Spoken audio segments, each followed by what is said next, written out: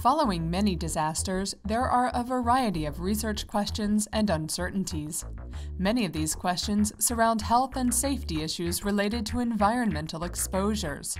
To improve our ability to explore these questions, the National Institutes of Health began the Disaster Research Response Project, known as DR2.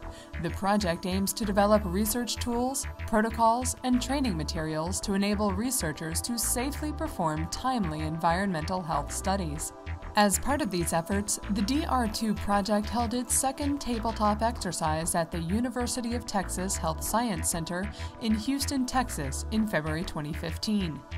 The exercise was conducted to explore how participants can collect important health information to support response, recovery, and preparedness. At this event, participants focused on a realistic scenario of a major hurricane hitting Galveston Island and sending a 20 foot storm surge up the Houston Ship Channel, an event that could spread hazardous materials into communities and potentially affect the health of responders, cleanup workers, and residents. This exercise gave participants an opportunity to discuss how they might respond to the situation, develop research priorities, and examine gaps in their capabilities. Participants also discussed ways to better coordinate future disaster research efforts. Timely research is absolutely critical to prevent injury and illness and to support recovery. Um, I think if we don't do research when we have a major disaster some we put ourselves at risk for the next time. Our hope is that we can learn. So not only can we lessen the the problems that ensue from that disaster but we can do a much better job in responding um, to future disasters.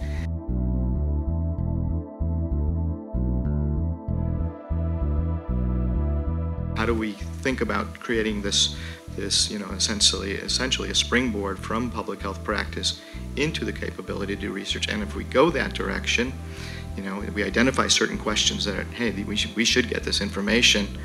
Um, who can do it, and what are our assets to actually do it? The real important piece for us is to identify people where any of those places are early on an ongoing basis but to then be able to track those in a meaningful way, an objective way, but also in a way that's going to allow you to actually have some interventions that are going to help you with um, whatever the activities in the future.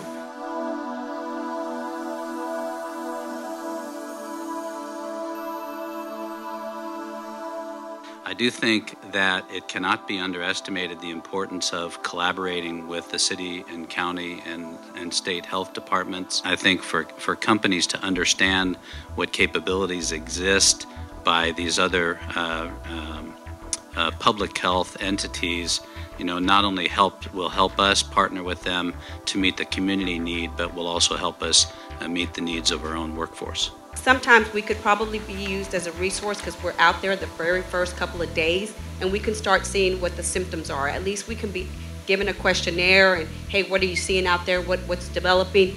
Where the responder then knows to capture that data, even if it's anecdotal, so that it's available when the research is available to start, actually be very helpful.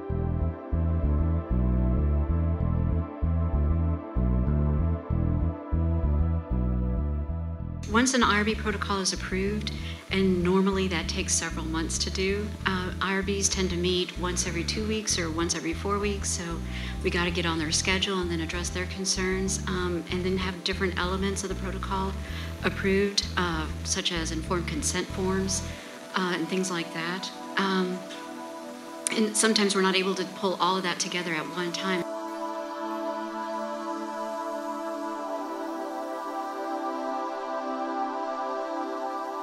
It's been really exciting to see, I guess, public health be at the table. And I feel like that's been a mission for all of us is to figure out how we fit into the bigger response.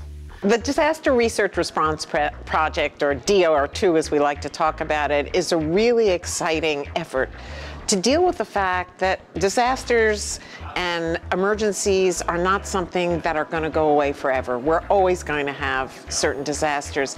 And we need to know how better to respond to them. It would be very important for academic researchers to work with those public health entities who are, who are conducting the surveillance to be able to build upon those initial findings, perhaps to get to uh, a root cause of particular symptoms. So to identify particular environmental exposures, for instance, that might manifest in a symptom that was identified by surveillance. So in that instance, research would be doing for surveillance what surveillance cannot do for itself.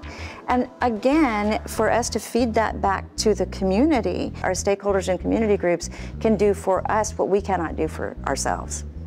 I hope in the future that disaster research can be integrated with public health practice so that when we respond and start doing an assessment or doing an evaluation of a community that, has been hit by disaster, that we can pretty seamlessly bring on to uh, you know, follow that uh, some good research that goes longer term and can help us understand better the overall impact of a disaster on a community and how to prepare other communities for similar disasters later.